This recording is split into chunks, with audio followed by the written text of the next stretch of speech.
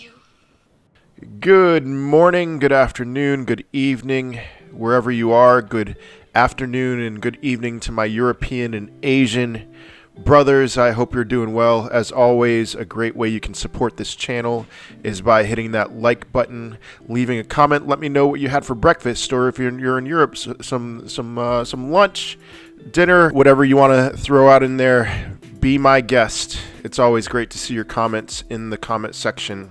Hey, for first things first, for once, uh, back to GameStop. GameStop CFO resigns following Reddit stock trading mania. Retailers' SEC filing said the move was not because of any disagreement with the company, as they would say. So, to be honest with you, there isn't much news about there. There's lots of speculation, but following weeks of headline grabbing attention for social media fueled stock trading frenzy, GameStop announced Tuesday that its chief financial financial officer Jim Bell re- will resign from his role effective March 26th. A, a reason for Bell's resignation was not immediately clear, and then the person who wrote this article was like, "Well, I need to have more words in here, so how about I describe blah blah blah random stuff that isn't entirely related to this particular point. So down at the bottom um, of this article, if I can find it, let's see. The company has launched a search for Bell's permanent replacement, noting that they are seeking a CFO with quote the capabilities and qualifications to help accelerate GameStop's transformation. I like those words. I like them. oh my goodness, that laugh was so so retarded. Oh, excuse me. Uh, hey, you know what? You, most of you are on Wall Street bets. I don't need to be PC. All right. Anyway, the search will evaluate both internal and external candidates. Is being conducted by a quote leading executive search firm. If a permanent replacement is not in place at the time of Bell's departure, GameStop intends to appoint a chief accounting officer and senior vice president uh, Di- Diana Jajeh to the role of C- interim CFO uh, etc. Blah blah blah. So, what? Lots of speculation, lots of wondering what this means for the future of GameStop. I um, I do think that there's a move here that they can make, that they will make, that uh, will signal everything that I am, who have shares in the stock, who have held onto my shares through the valleys and the peaks and the valleys again, um, am thinking where this company is going and I think that they're going to add somebody, and, that it's a it's a home run. And so, man, my nose is killing me right now. And so I feel like I'm in college again. And what, what do I mean by that? Well, I was in a fraternity in college. We had the you know we had Rush where we would um, recruit new members of the fraternity, etc. It was by no means the stereotype stereotypical fraternity that you're thinking of, but you know we had fun. It's blah blah blah. You know whatever. Anyway, so we had this term called Rush Crush. Who's your Rush Crush? Who's this guy who you are looking at who you would want to join the fraternity more than anyone else? And, and I'm I'm looking at this not that I have any. Well, I do. I, I have shares, so I have some ownership in. GameStop, I guess I could contact them and say, hey, I want you to hire this guy. And they won't listen to me, but, you know, I'm thinking about who my Rush Crush is. And I, I highly doubt this, but this, this would be my Rush Crush. Internal memo key Amazon exec Jeff Blackburn officially leaving, hinting at a new role elsewhere. This would be my Rush Crush, Jeff Blackburn. Uh, it's it's it would be hilarious, but it would also be enforcing of the the the, the mentality that GameStop's going to dominate in the coming years. If Jeff Blackburn were to leave Amazon for a new role in GameStop. I, he's been with Amazon for 20 years. He is key in transforming Amazon from a book company into a global empire. Um, you don't hear as much about Jeff Blackburn as you would obviously about Jeff Bezos or Jeff Bezos' wife, who rode that train for a while and then got out at the peak. Um, so anyway, just things like that. I'll be scouring the internet looking for future rush crushes. Um, but hey, he's leaving. Hey, why, why not come over to GameStop, Jeff Blackburn? Something like that. I talk about a catalyst that would send the stock much higher. Uh, you know, GameStop hire, hiring a new CFO, one that um, signifies that they are absolutely about to transform uh, their business and potentially the industry down the road, that is something that will st- send the stock higher. That's what happened when they hired uh, Mr. Cohen or they brought him on the board. Is that it's like okay, see what you did with Chewy? That same thing is going to happen with GameStop. So I'll be keeping my ear to the ground. Anyway, uh, lots to talk about today. Bitcoin has recovered quite nicely from its 50 or 45,000 crashed down to a little under $45,000 yesterday from a peak of $50,000. My portfolio has recovered a little bit, you know, still some way to go. I'm not worried about it at all.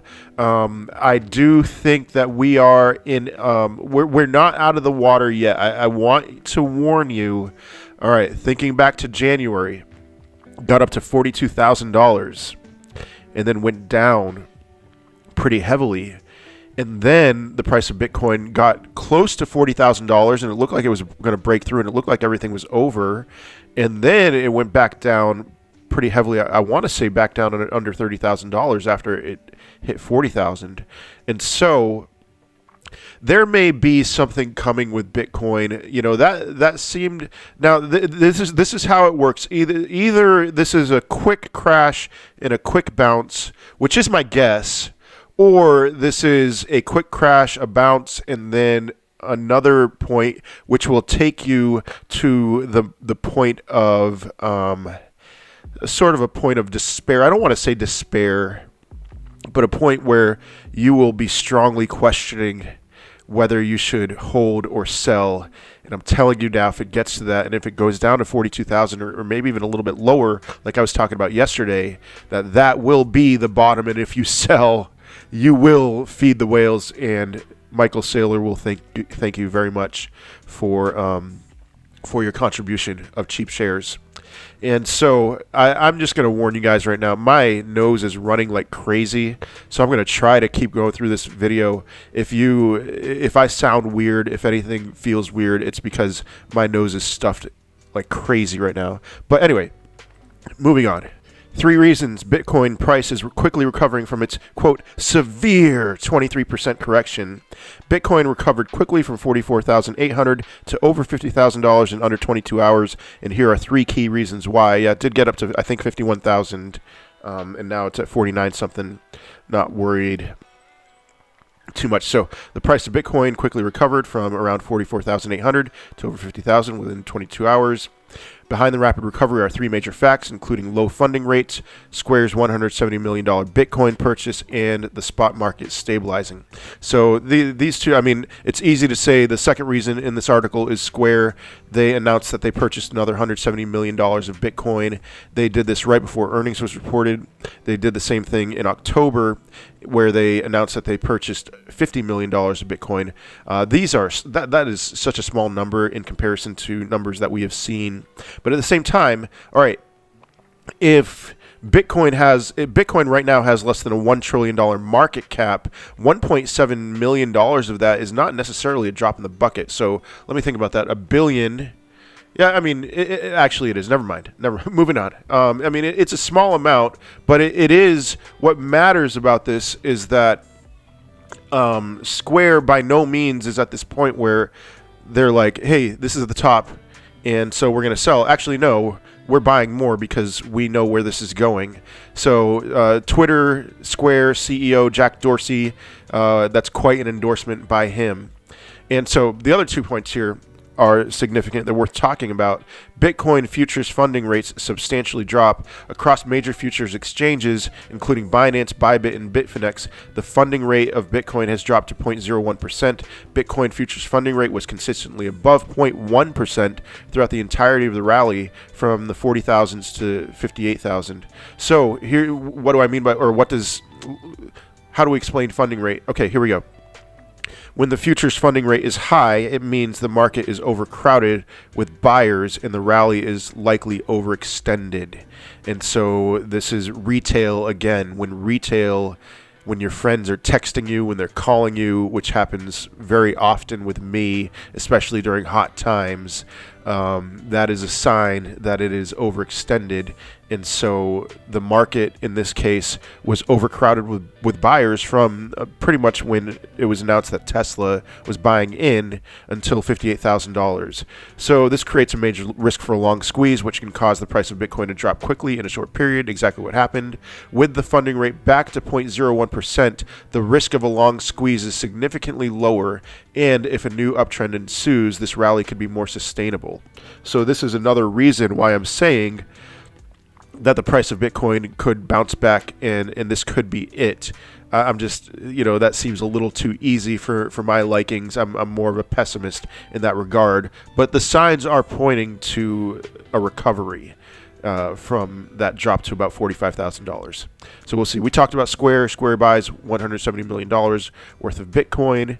Um, and then, here we go, spot market is stabilizing. When the price of Bitcoin was correcting, the price of Bitcoin on spot exchanges like Coinbase was much lower than futures exchanges. February 23rd, for instance, Bitcoin was trading $600 lower on Coinbase at one point when the price was near 44,800. When the price of Bitcoin initially recovered, there were signs of a bearish retest John Cho, the director of global expansion, blah, blah, blah. We were expecting it, but didn't think it, it would come this soon or this fast. A solid bounce from here would be ideal, but some potential retracement support regions I'm watching. My bias is towards the 40, 41K region, as it would fulfill a 30% correction from the all time high. And, um, so either way, like I'm saying, it could go either way. Uh, do not fret if this gets to 40,000, 41,000, 42,000. Um, it will bounce quickly. And yeah, and uh, the, so the, the, thing I'll disagree with John Cho was that his name? I, I don't want to mess that up. Yeah, John Cho is that people who have been here since 2017, 2013, etc. They have it fixed in their minds that we have to have 30% corrections from peaks. And what I'm saying is my hypothesis is that that doesn't necessarily have to happen throughout this bull run. That I think it's going to be more like 25% corrections because um, because of the heavy institutional investment this time around that didn't exist last time. And so the the the peaks and valleys don't need to be as severe throughout the top.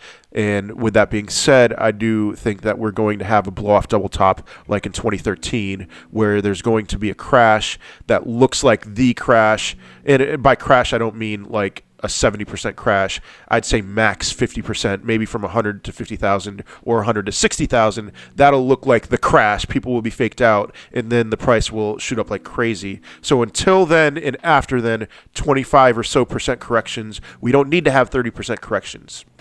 But anyway, so things are looking fine with Bitcoin. I would say they're looking quite good another reason why I would say things are looking good. So, MicroStrategy, we already talked about that they were putting another billion dollars into Bitcoin. Um, so, they announced that they made their purchases. And it was interesting to me, their average purchase price was $52,765 per coin. Um, I thought it would have been lower, but their purchasing is done. They are in. They're in at a higher price than where Bitcoin is now. Um, I am curious to see what their dollar cost average is now. It was around $15,000, so I would guess that it's in the 30s now. Um, definitely a sign on, on Michael Saylor's part of a belief in Bitcoin, and I am sure that it'll have a positive effect on the stock price moving forward. So, nothing but positive news, honestly. I mean, the price is its own thing. But as far as the news is concerned, there is nothing but positive news, including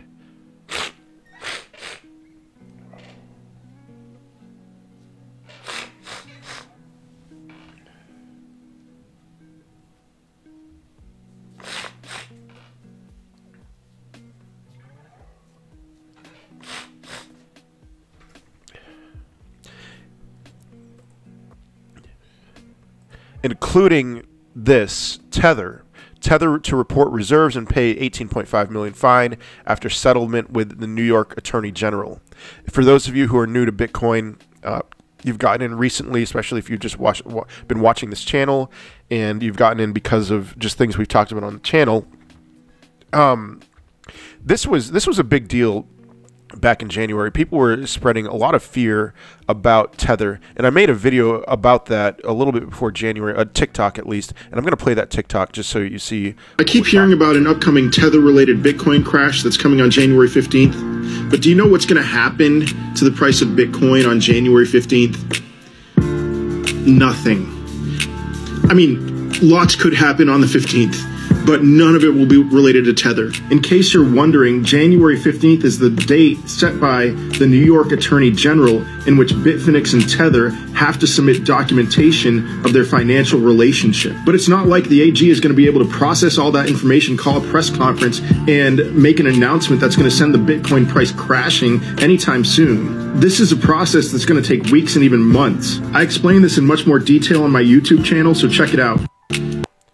Okay, so here's what happened in, in January. Um, it, this was actually on Reddit, on I think Bitcoin, the Bitcoin subreddit, and this took this gained a lot of steam. I saw a lot of comments and people saying January fifteenth, January fifteenth is going to be some kind of doomsday scenario with Tether.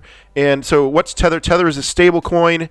Um, they have a U.S. dollar, and there was there were some fears that they were taking on like a Fed 2.0 role, where they were just printing their own coins and not having that backed by actual dollars, which would have been like that that would have driven me up the wall how, how awful that would have been. And so there were allegations that they were doing things like that that they weren't actually backed one to one by their dollars. And um, no i don't want another Fed, federal reserve 2.0 i don't want federal reserve 1.0 you know? And so that kind of that went to the new york's attorney general and people were afraid that on January 15th that it was going to there was going to be some massive reveal that the price of Bitcoin was pumped up because Tether was printing off these non-backed dollars, these non-backed Tether coins and using that to buy Bitcoin and then selling their Bitcoin and having this cycle go over and over again. And like I said in my video there, my TikTok, nothing happened on January 15th. And it turns out this is the end of that drama. Nothing happened on January 15th. Nothing happened today. It's over. Tether is, is paying an $18.5 million fine, and it's over.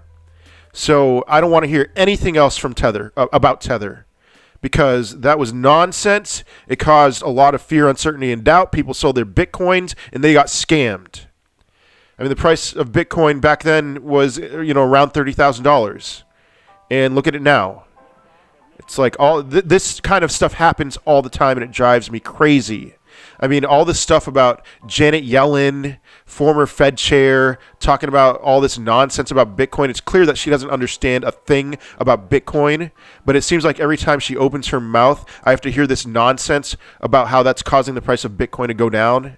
Janet Yellen is irrelevant to Bitcoin. Anyway, I, that is actually that's actually it for Bitcoin today. So, moving on, Cathie Wood. Cathie, man, ARK.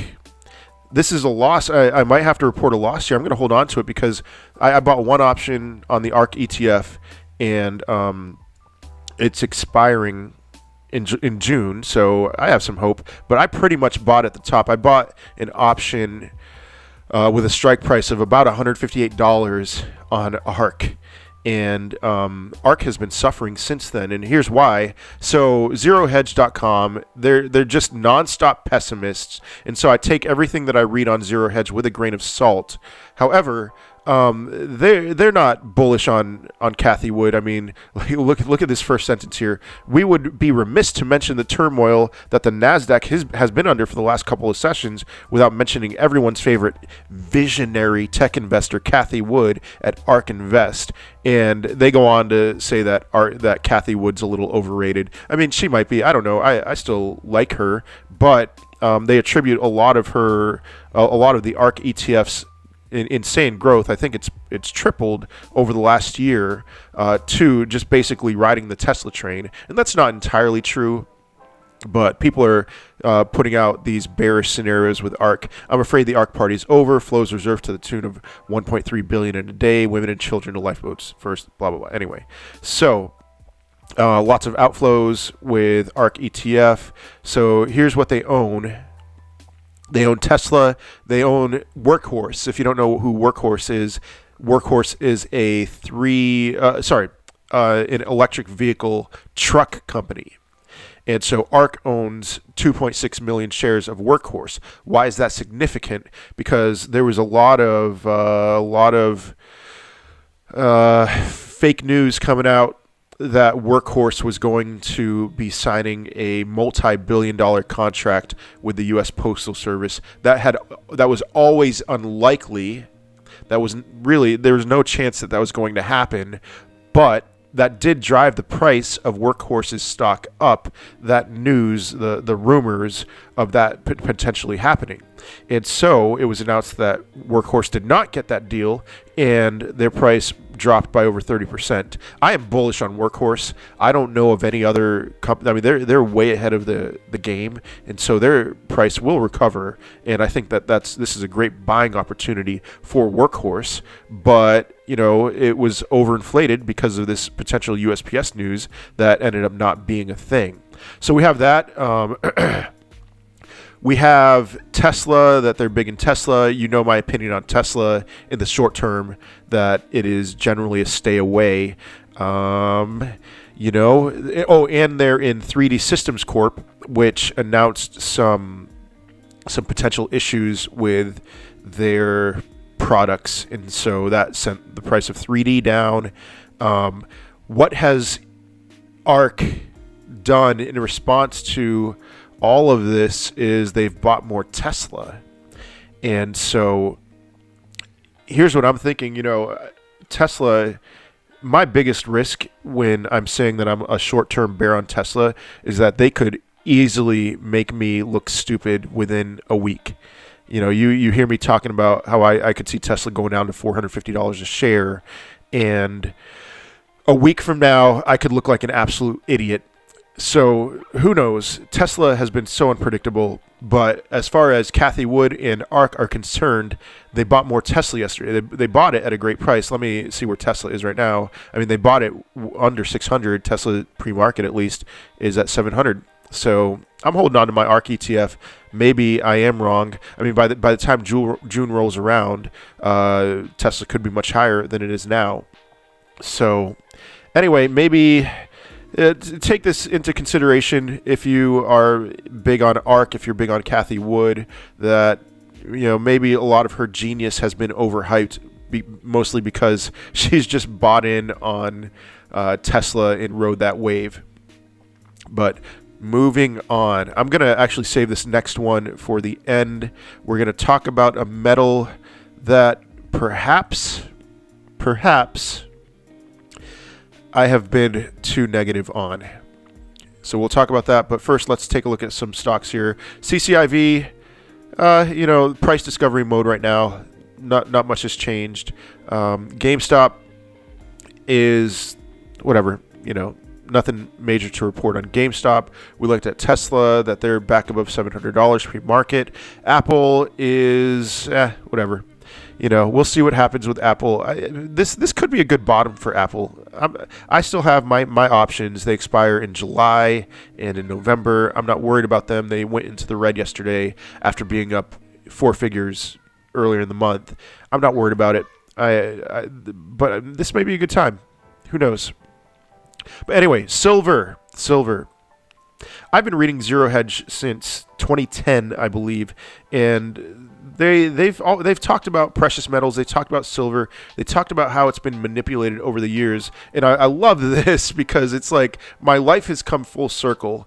Zero Hedge is posting about Wall Street bets. They're sharing posts from Wall Street bets on to on their website and it's just wow this is this is amazing i mean this website i've been reading for over a decade now they're they're copying and pasting Wall Street Bet stuff. So here's what I want to talk about with silver. I mean, people were talking about Citadel shilling silver and all this stuff and and so I, I just I was a lot very reactionary with silver and I think that I was a little bit unfair to just all the posts that had to do with silver.